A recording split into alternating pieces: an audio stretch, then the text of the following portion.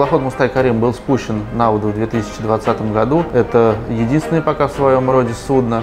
Первое судно, прошедшее под разводными мостами с туристами на борту. Также наше судно было первое, прошедшее под Крымским мостом до Новороссийска.